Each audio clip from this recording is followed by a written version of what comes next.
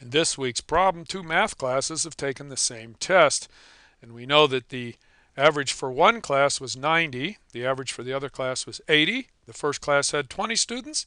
The average of the classes combined was 84, so the one thing we don't know, how many students were in the second class, and we're going to find that out. Well, when averages are concerned, while it's unlikely that all the scores would be the same, we know that if the average is 90, then the total of all the scores added up is the number of scores times 90 shown here for the first class 20 times 90 so the other class that had an average of 80 would be 80 times the number of students in that class. We're going to call that n because we don't know that number yet. And then if you've had algebra you'd know. You could add the total for the first class plus the total for the second class divided by the total number of students in the two combined and get 84.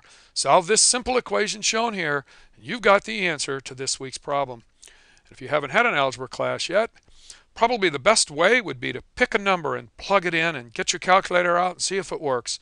So let's try 20. Let's pretend that both classes had the same number of students. Do the arithmetic, and if that is the case, the average would have been 85. So we're close, but we're not quite there.